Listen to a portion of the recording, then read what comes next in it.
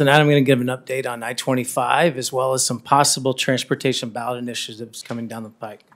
I-25 aligns with our strategic plan through transportation objective 6.1, which is safety for all modes of travel, 6.4, which is improving I-25 to the environmental impact statement, and then finally with 6.5, uh, with improving aging infrastructure. So I wanted to focus on the environmental impact statement because that's important. CDOT put this together in uh, 2011, and the original EIS was to do the bottom or the three plus one. That's three lanes in each direction with a express lane or Tolden HOV as well. That was an extremely high cost of over $2 billion and would be finished with that funding at the time in 2075. They recognized the need, especially in areas of I-25 near Fort Collins, where it's two lanes in each direction, to phase that approach, which is why they have really phase one is what we call two plus one, and that's two lanes in each direction and an express lane and then the phase two will be later on. And so I wanted to mention that because the construction that was is going to start next month with I-25 is the two plus one. So this slide focuses on the existing I-25, that it's two lanes in each direction. From 66 to the south, it is currently three lanes in each direction. And so I'll start at the north from Highway 14 down to 402. That's what's known as segments seven and eight, and that's 14 miles of roadway that the project is going to start next month and be complete in 2021. Out the next slide, I'll talk about more detail of that. This is a $300 million project. Note that in order to build it out to the three plus one or phase two, there's an additional $450 million that's needed for that project. Uh, the, sec- the next segment to the south is segment six, and that's five miles. That total cost is 250 million.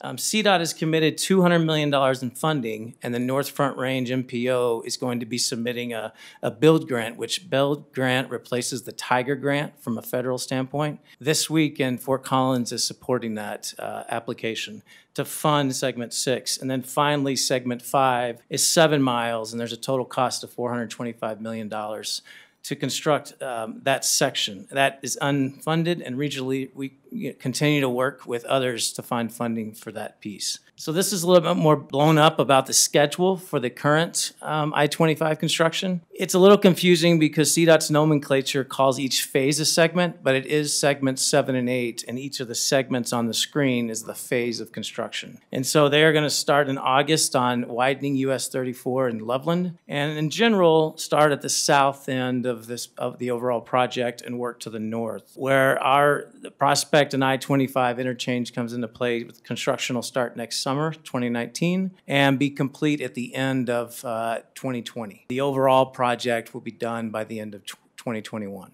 the next slides, I wanted to go into some upcoming transportation ballot initiatives. Um, I'm going to talk about a previous 2017 Senate bill because the ballot initiatives coming up refer to this, so it's important. And so, Senate Bill 17 267, uh, as far as transportation funding goes, allocated $1.8 billion over four years. In 2018, 380 million came through, and the subsequent 19, 20, and 21 had 500 million each for $1.5 billion total. 90% of this bill went to the state for highway projects and 10% went to transit. This year in the legislative session, Senate Bill 1801 was passed, and that really did two different things.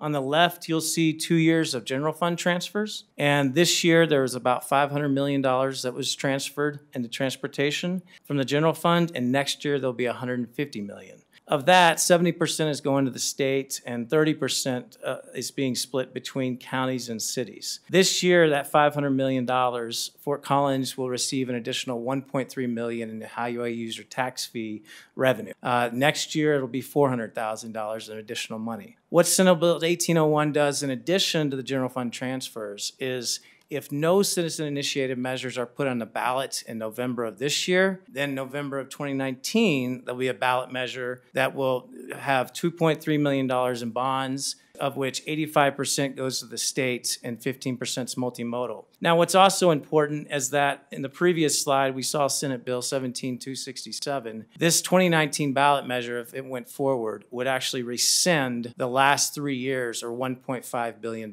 would go away. That no longer would go into transportation funding. And so the next slides, we're going to talk about some possible 2018 transportation ballot initiatives. The first is ballot initiative 153, which is a 0.62% sales sales tax over 20 years. And this would be split up into three different areas. The state would get 45%. That would allow them to bond up to $6 billion for transportation. What's important about this, though, is that that Senate Bill 17267 continues, that revenue continues of that 1.5 billion. So that $6 billion is really 7.5 billion because of the previous Senate bill stays in place. Uh, the locals would get 40% of which would be split between cities and counties. And so in this case, there would be a, approximately $5 million additional revenue from the HUTF uh, per year that comes in from the 0.62% increase.